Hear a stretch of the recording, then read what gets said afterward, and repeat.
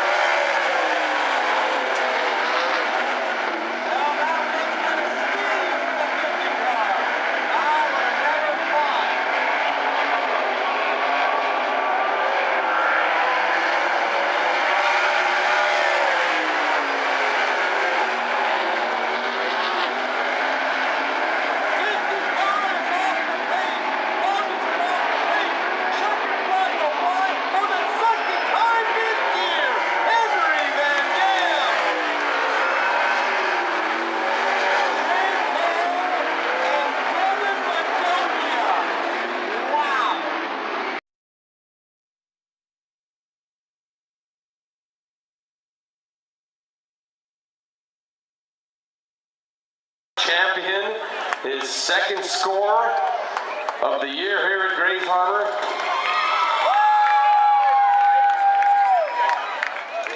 that was a for that, that many cars. That was great. We're going to give him a second to get his gear off. Everybody's leaving. They haven't done 50-50. Congratulations, Henry. Hey, we watched you watch work the high side, the low side, inside, outside. You were everywhere. How'd you do it? Well, we just had to make something work. We weren't going to be able to pass him by following him, and that was uh, clear after he moved up to the top. So we just kept searching, kept searching. I know we had a chance once we got the restart there, so I just needed to take uh, advantage of my opportunities and uh, just keep working the track. The track was changing every lap, so you just keep working it and see what you can learn each lap. Great. Who would you like to thank? I got to thank Kovash Logging, Johansson Excavating, and Inval Express Loop, uh, Les Schwab's Tire. Just a ton of people that uh, help us out on this deal, and without them, I can't do uh, any of this. So the crew worked their tails off all week to get a car together, and uh, to come out and get a win is awesome. So just uh, having a lot of fun, and uh, hopefully put on a good show for you guys, fans. Yeah, that was a great show. Congratulations. Thank you. Yeah, leaving. The 50. And I know Henry's got to be looking forward to the 4th of July weekend. Henry really shines all the time, but he really shines on the big races like he did at the last year, the Marvin Smith Memorial. And I tell you, he's got to be looking forward to the Fred Brownfield Classic two weeks away.